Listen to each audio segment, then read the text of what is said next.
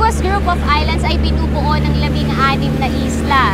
Hindi man natin kayang puntahan yon ngayon, pero may pupuntahan tayong tatlo. Ah, yung una, mahabang buhangin, kung saan tayo nag-settle. Ah, ngayon papunta kami ng Pinagkastilyohan. And after Pinagkastilyohan, pupunta tayo ng Balagbag Island. Mula sa Tinaga Island, kailangan naman nating maglakbay ng 30 to 45 minutes bago marating ang Pinagkastilyohan Island. Nang marating namin ang isla, muli na naman kaming namangha sa natatanging ganda ng lugar na ito. Ang Pinagkastilyohan na ipinangalan nila dito sa islang ito, sabi nila ang mga Amerikano daw noon ay nagtayo ng kastilyo dito. Paraiso naman ito para sa iba pero saan man galing ang Pinagkastilyohan, napakaganda pa rin itong lugar na ito. At alam nyo ba na meron siyang napakalawak na sandbar na makikita lang kapag low tide. Tinatayang aabot ng isang kilometro ang sandbar na makikita rito sa Pinagkastilyohan Island na makikita natin kapag low tide.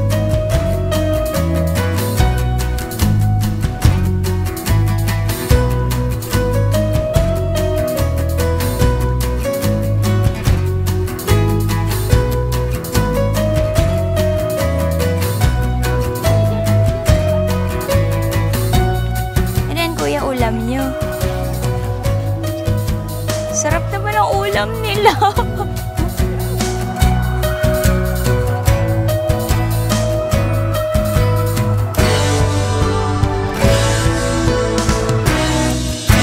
Sa paglibot-libot namin dito sa Pinagkastilyohan, may natagpuan kaming isang parang napakalaking bato dito. Ah, actually, ah, parte siya ng bungo ng isang balyena. Ah, kung titignan natin, lower jaw siya ng ah, balyena. Sabi ng caretaker sa amin at ng mga tourist guide, last year, February 2017, natagpuan na walang buhay yung balyena dito. Ah, siguro naabutan ng low tide at hindi na nakabalik sa dagat.